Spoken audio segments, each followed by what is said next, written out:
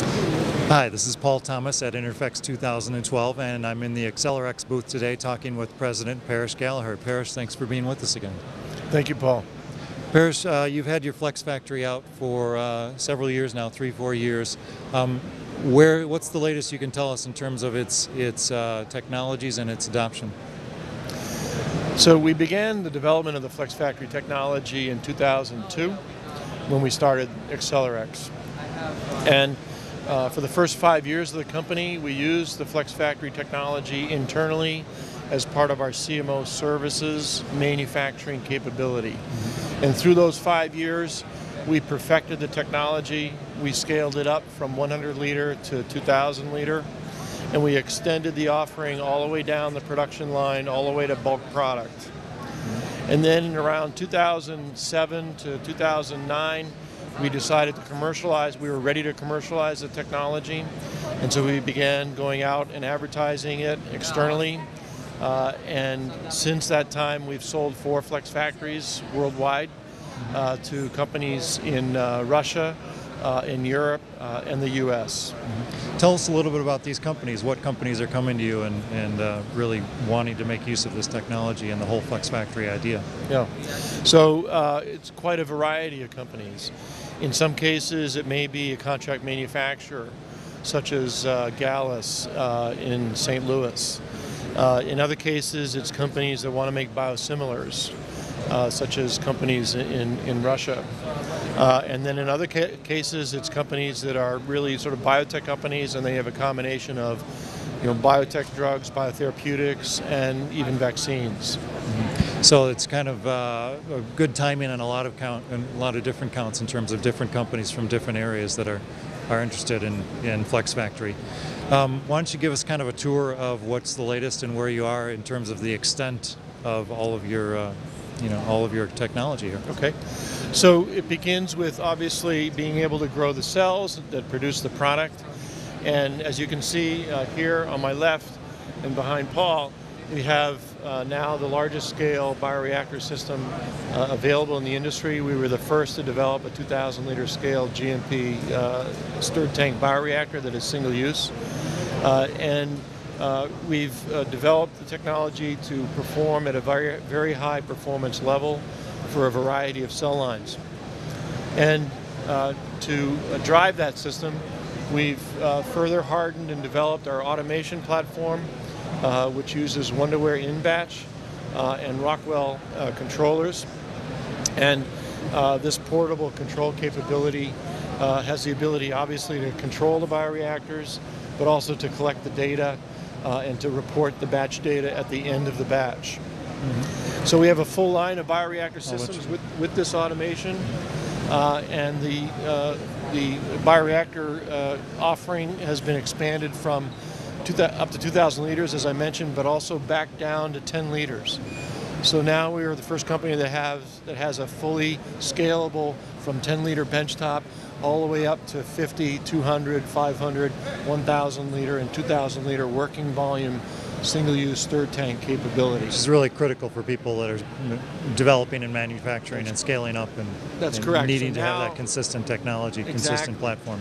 That's right. So now in the laboratory, mm-hmm. they can do scale down modeling by running in the 10 liter scale system mm-hmm. uh, a process that is, is going to simulate the 2,000 liter scale. Mm-hmm. So in this way, at the 10 liter scale, they can get a preview of how well their process is going to, going to perform as they scale it up. So we call mm-hmm. that scale down modeling. Mm-hmm. And clearly, uh, there's an advantage with the 10 liter in that, as you mentioned, it's a small scale.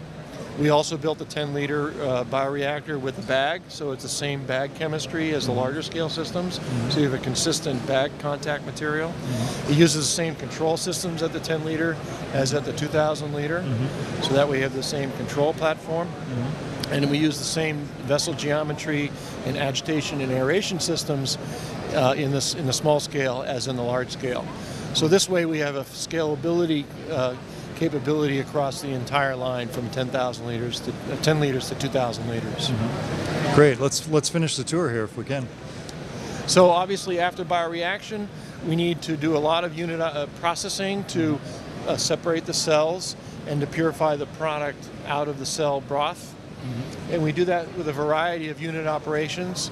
Um, for uh, you know space because of space limitations, we can't show all those unit operations here, but we have several examples here to my left of the downstream processing of uh, the batch of, of product that we would be making in our reactor systems.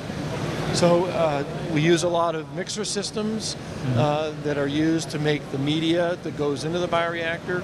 These are single-use mixers.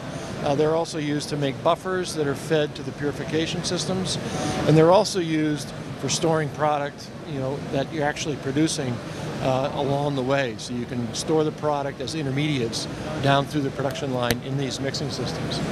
And we have a whole variety of these from 50 liters all the way up to 1,000 liters.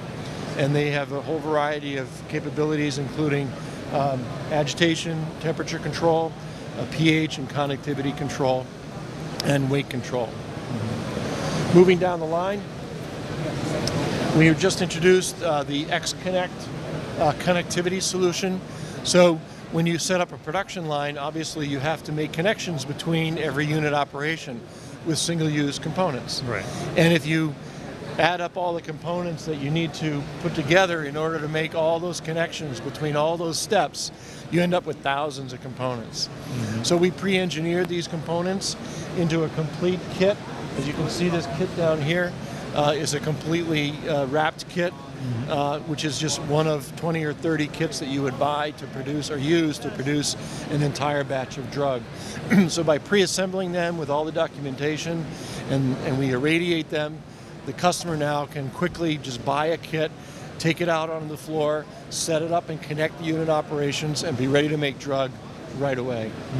So we call that X-Connect uh, tubing sets.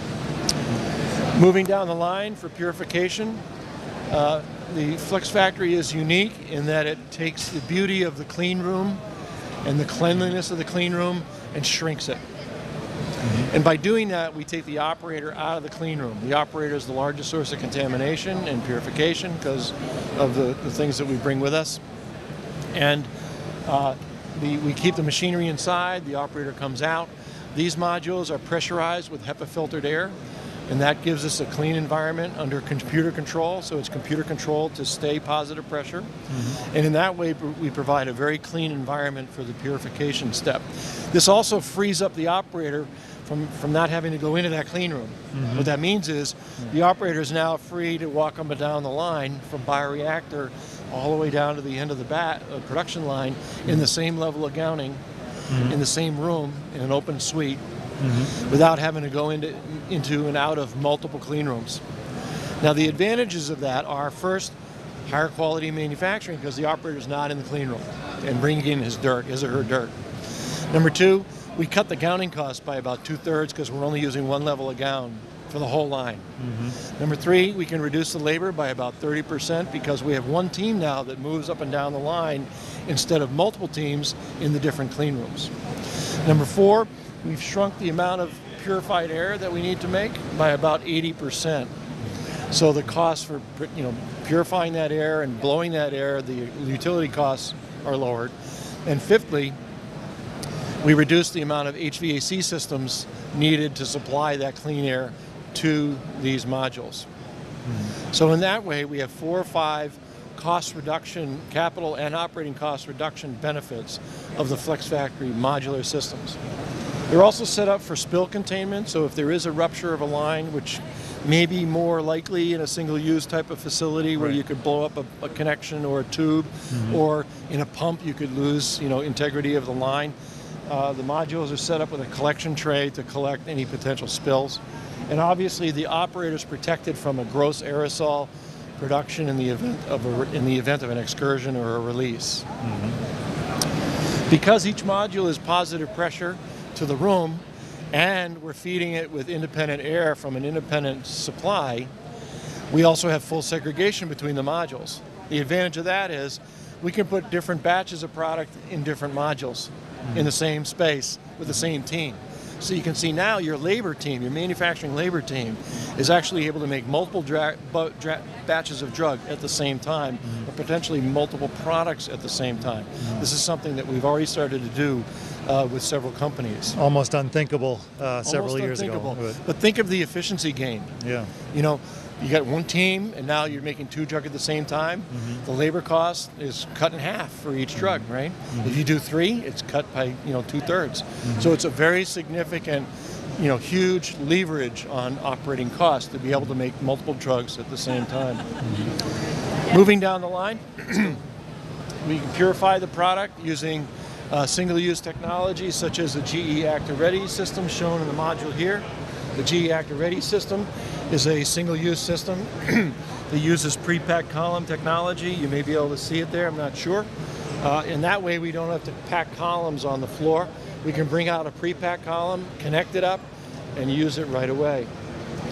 The automation was extended from the bioreactor system down through all the unit operations as well.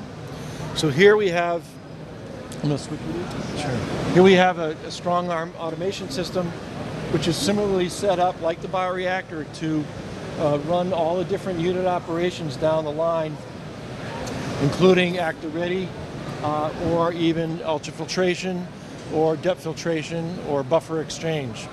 Uh, and in this way, we have the same automation platform across the entire production line. And that, that does a number of things. It simplifies training, obviously, mm-hmm. simplifies the documentation, it simplifies the collection of the data and the, and the reporting out of the data from the batch, and it simple, simplifies the validation, of course, of all of those things. So lastly, we get to the end of the process, and now we can, in the same, again, the same production suite, Flex Factory suite, in the last module, we can produce the bulk drug substance. So this is the final filtered uh, bulk drug uh, that uh, is suitable for uh, ultimately fill finish in some other facility. So what we're really seeing here is the fruition of your your original idea of, a, of an end-to-end full platform uh, that you know somebody can manufacture and and really have a, a full solution uh, provided for them. Right. You know, at the end of the day, it's not about equipment, you know, being delivered to you by a supplier. To us, it's about making pure drug safely uh, in a fashion that keeps it clean so that it conforms to specifications for purification and quality standards. Uh, and doing that in an integrated way, as you, as you said, in a complete sort of turnkey capability. And, and that brings to mind the types of customers that we're seeing today as a result of that because it is a turnkey end-to-end capability, we have whole new customers coming out of their current businesses and into the into the biologic space. Many people that really couldn't think about doing it before. One example is contract manufacturers who are in the stainless steel space of stainless steel facilities, but now they want to upgrade their technology to more efficient, more flexible capability. So we're working with many CMOs and enabling them to do that. And using the Flex Factory technology and single-use manufacturing methodologies, they are lowering their bottom line and increasing their profit margins but also providing a higher quality drug to their clients because there is there's a less chance of contaminating that product using the Flex Factory platform. Another type of customer that's coming out that's a new type of customer uh, is the mid-tier biotech companies who have enormous capacity uh, internally, but they also have a lot of money for technology development. Mm-hmm. They're restructuring their manufacturing capacity to be more efficient. They have factory of the future initiatives in which they mm-hmm. have strategy teams that are assessing new technologies, doing studies, doing due diligence, and they're, they're now beginning to implement their next 20, 25 year factory of the future strategies using these kinds of technologies. So that's another tier of customers for us. Mm-hmm. A third tier of customers for us are companies that want to get into biosimilars.